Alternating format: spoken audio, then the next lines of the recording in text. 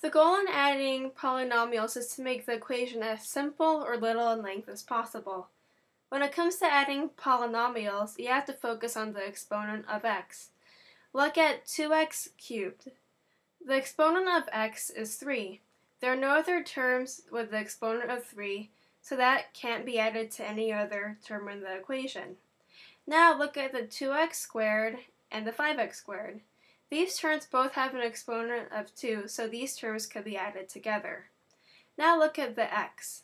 When a term simply ends in an x, that means you can add those terms together. For example, x, 2x, 3x, 4x, etc. can be added together because they end in the same term, x. Now look at the 1. You can add numbers without x together, like regular addition. Therefore, 1 can't be added to anything else in this equation. Think of adding polynomials as adding members of a family. You have the x cubed, the x squared, the x, and the numbers without x or the plain numbers family. You can only add members of a specific family together. Thus, the only x cubed is 2x cubed, so that can't be added to anything.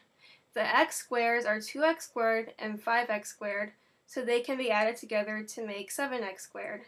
The only x in the x family is x, the only plain number is 1. In conclusion, your final answer is 2x cubed plus 7x squared plus x plus 1.